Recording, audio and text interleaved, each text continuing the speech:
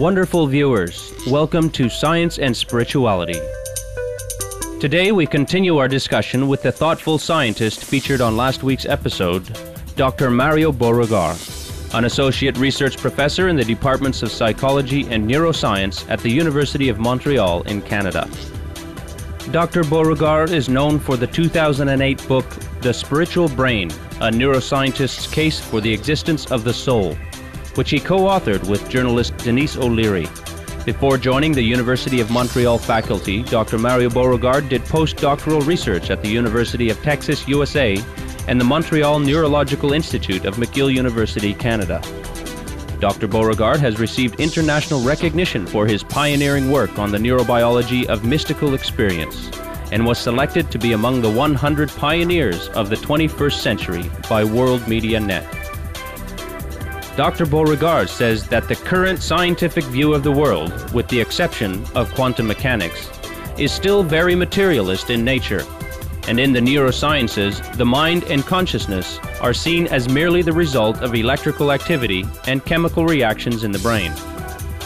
However, this perspective cannot explain many experiments which have clearly shown that thinking and intentions not only can change the brain, but can also change the condition of the body. We know that the brain is connected to all the other physiological systems in the body, like the immune system, the endocrine system. So it, this means that when you change something at the mind level, for instance, a belief, you will influence not only the brain, but all the other physiological systems connected, for instance, the immune system. And this has been shown very convincingly uh, in a scientific discipline that is called psychoneuroimmunology, uh, which started about 30 years ago. And uh, now there's also some evidence showing that we can also change uh, the expression of some genes uh, involved in various types of behavior.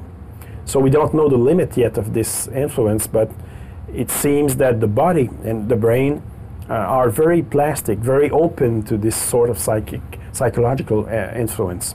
There are cases of uh, remission of cancer that are seen when people use uh, visualization, mental imagery, meditation, uh, various relaxation techniques. If you have a different alternative paradigm in which um, the mind really exists and cannot be reduced to the brain, then uh, it makes sense to understand that um, perhaps um, the informational processes at the mind level, for instance, a thought, can um, uh, influence brain activity. Uh, we can explain that there are models about this, and one possible explanation is that um, it would be based on uh, quantum processes, processes related to quantum physics, because if you take the case of the um, ionic channels in the nerve cells, the, the neurons, where the messengers um, uh, are passing through, uh, these um, ionic channels are so or small holes are so small, so minute, that at that size of order, the laws of quantum physics do apply. Uh, the fathers of quantum mechanics realized about 80 years ago that the observers could influence uh, the behavior of the microphysical system that they were measuring, uh, the subatomic particles, uh, if you will. They now recognize that human consciousness can influence uh, the physical world at that level. Metacognition can be described as thinking about thinking, or an awareness of one's cognition, and is seen as a way to affect transformation of the brain. Uh, a number of brain imaging studies showing that, uh, for instance, uh, patients suffering from uh, clinical depression uh, or obsessive compulsive disorder, when they start meditating and doing what we call metacognition, which is uh, to take a distance from your own thoughts, your own beliefs, your own emotions, then it's possible to change the functioning of the brain. You really can't change uh, the way uh, certain brain structures function and brain networks underlying all sorts of negative emotional states. Thomas Kuhn, a famous epistemologist, and historian of science from the United States, is known for his famous theory on how science advances. Rather than it being the product of accumulated knowledge, he suggested that progress is made when paradigm shifts occur because the basic assumptions within the ruling theories of science change. We really need a major paradigm uh, shift um, in neuroscience, especially, and also psychology and psychiatry. We're going to uh, collect in the next decades uh, some empirical data and evidence, new data, showing that you cannot reduce really the, the mind and consciousness to, to brain activity. And eventually, that, that will lead to a new worldview for humanity. I'm uh, now participating in a, an international research project that is called uh, Project AWARE. And it's conducted across various hospital centers around the world, uh, mainly in United Kingdom, uh, United States, and Canada. And the goal of this project is to demonstrate that when there's a state of um, uh, clinical death and uh, during cardiac arrest, there's a possibility of veridical perception of elements. Uh, for instance, I'm beginning a research project here in Montreal uh, when we investigate people um, uh, suffering from major defects at the aorta level, cardiac level, and so the, uh, the need to undergo a, a standstill surgery uh, to repair this defect, which is very serious, their life is threatened. And so they are usually uh, clinically dead for about 20 minutes. While they are clinically dead, what we do is we simply uh, display on a big monitor uh, located at about seven feet above the ground and oriented toward the ceiling we present a series of uh, emotionally laden pictures that are changing every 30 seconds. And uh, we do that because we want to see if, um, among all the patients we're going to investigate in the next uh, years, perhaps there will be one or two patients who will have an out of body experience and will be able to identify some of the pictures presented on the monitor. When Science and Spirituality returns, we'll explore how Dr. Mario Beauregard's spiritual experiences inform his vision of a new scientific perspective of our world. Please stay tuned to Supreme Master Television.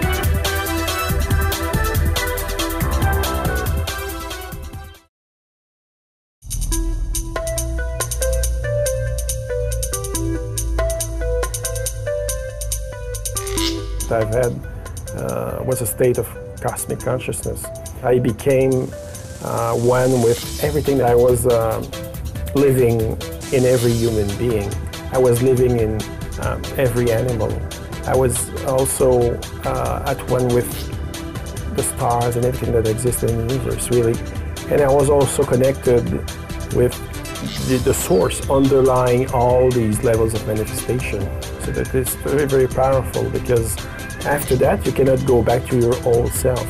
You, you know that uh, you're not necessarily what you thought you were. Uh, of course, this will change you uh, forever.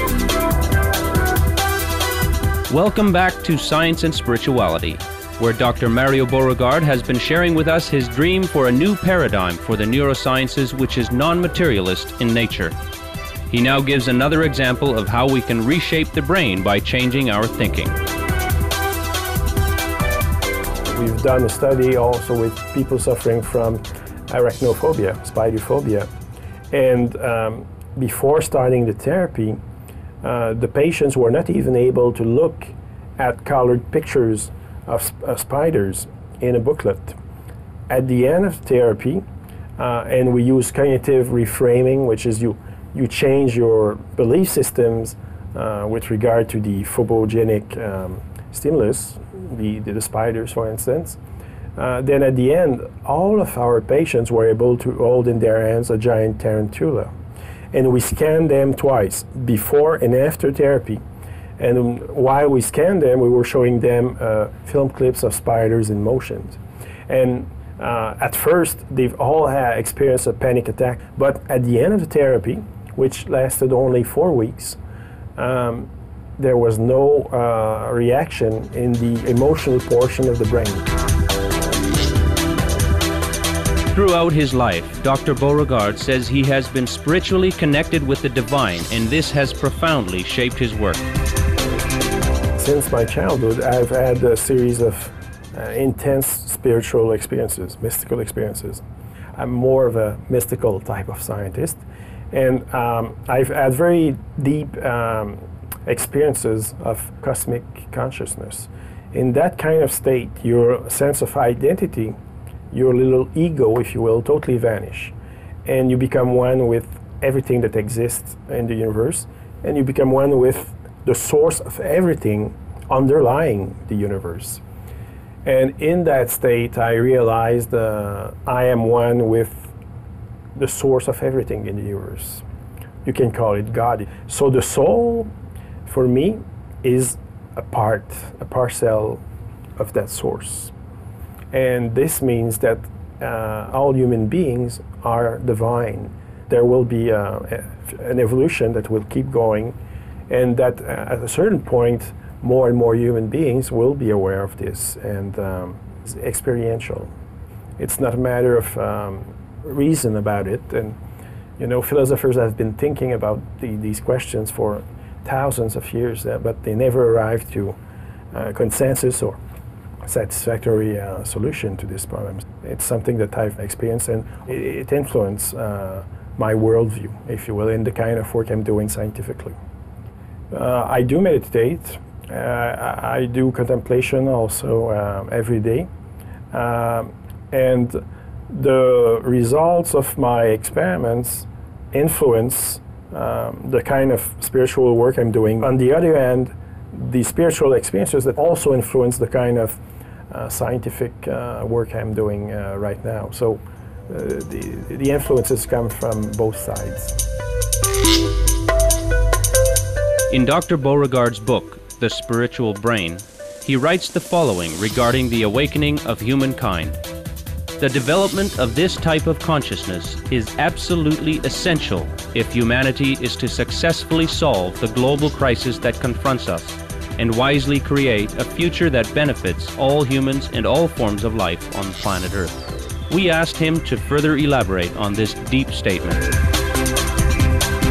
Spiritual experience of oneness is certainly the, the key that will allow human species to be able to overcome uh, the global crisis that we now face, to become much more uh, civilized, much more peaceful, uh, and um, to, that the, this experience can lead us to another level of um, evolution in terms of consciousness, definitely.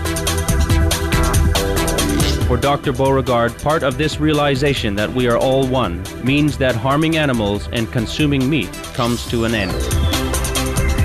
Because uh, animals are, uh, you know, living creatures with consciousness. I cannot imagine to have to kill another um, living uh, being uh, to, to feed me. It's something that uh, I think when you uh, where you, when you're rendered at a certain stage in, in terms of your own consciousness evolution, it's something that you cannot done anymore.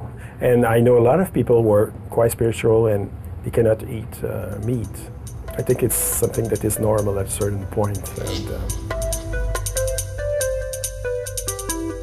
we would like to convey our appreciation to Dr. Beauregard for taking the time from his busy schedule to speak with us about his pioneering work in the neurosciences. We look forward to more good news from his research team as they continue to explore the many secrets of our universe and human potential. For more details on Dr. Mario Beauregard, please visit mapageweb.umontreal.ca forward slash boreg forward slash index underscore en.htm. Books by Dr. Beauregard are available at amazon.com. Blessed viewers, thank you for your company today on Science and Spirituality. Coming up next is Words of Wisdom after noteworthy news. May the consciousness of all beings on this planet elevate ever higher with each passing day. For more details, please visit www.suprememastertv.com forward slash SS